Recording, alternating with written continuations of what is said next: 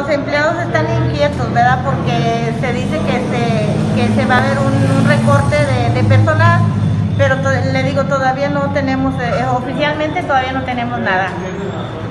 Puede ser, no, no lo descarto, ¿verdad? Pero este, hasta ahorita, el día de hoy, este, oficialmente no tenemos nada. No, no, no. Solamente lo que pasa es que se hablaba de un negocio nuevo, eh, de que iba a llegar el negocio del Bronco.